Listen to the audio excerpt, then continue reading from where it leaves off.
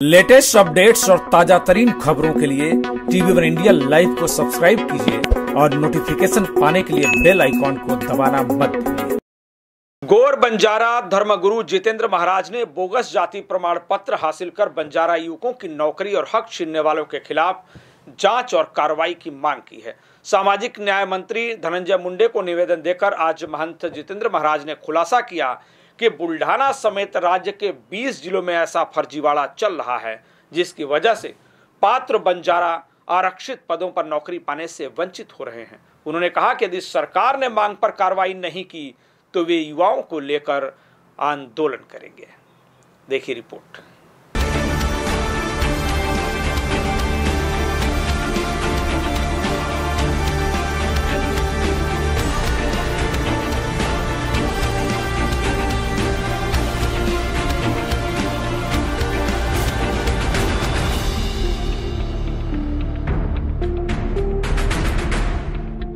महाराष्ट्र के बुल्ढाना समेत 20 जिलों में बोगस बंजारा जाति प्रमाण पत्र का बड़ा घोटाला चल रहा है।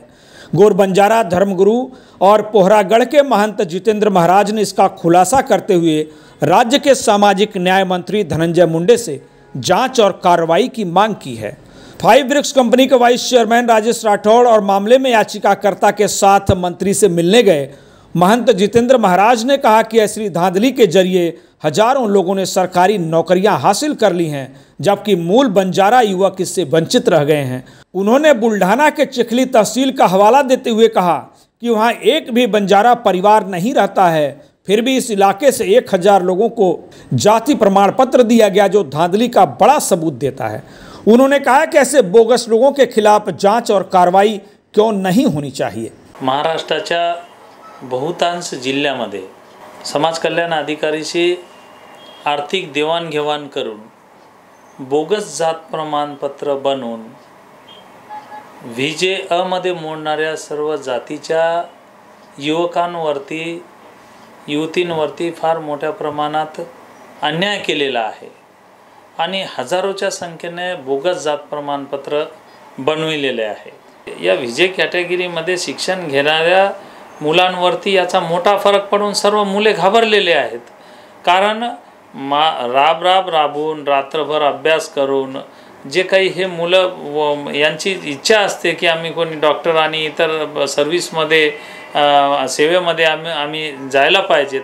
परंतु या सेवेला हे लोक न जाता हे बोगसच लोक त्याचा लाभ घेत आहेत. तर ही बाब आमचे राजेश राठोड बुलढाण्याचे या प्रकरणात याचिका करते आहे. यांनी फार मोठ्या प्रमाणात ही बाब उघडकीस आणली.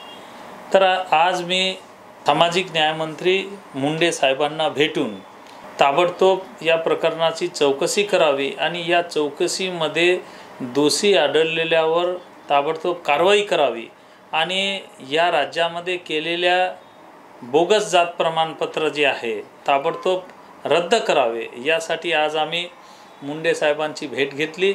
महंत जितेंद्र महाराज ने इसके लिए समाज कल्याण अधिकारियों, नेताओं और संस्थाओं को भी जिम्मेदार ठहराया, जिनकी मिलीभगत और उपेक्षा के कारण ही बंजारा समाज के साथ ऐसा अत्याचार और धांधली चल रही है। उन्होंने कहा कि यदि सरकार ने इस पर गंभीरतापूर्वक कार्रवाई नहीं की तो वे बंजारा समाज के युवाओं को लेकर मंत्रालय के गेट पर धरना प्रदर्शन करेंगे और न्याय मांगेंगे।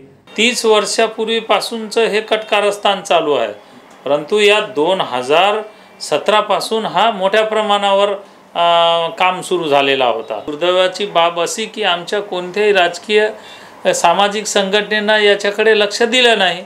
फार मोठ्या प्रमाणावर दुर्लक्ष झालेलं आहे म्हणून मी साहेबां मुंडे साहेबांना म्हटलेलं आहे की या ही गंभीर ही गंभीर बाब आहे. याच्यावरती लक्ष घालून ताबडतोब या प्रकरणाची चौकशी करावी आणि आपल्या स्तरावरून ताबडतोब निकाली काढावं. जर येत्या काळामध्ये याच्यावरती योग्य ती कारवाई झाली नाही तर मी धर्मपीठाकडून महाराष्ट्रातील तमाम युवकांना तमाम विद्यार्थ्यांना घेऊन मंत्रालयावरती आंदोलनास बसणार याविषयी.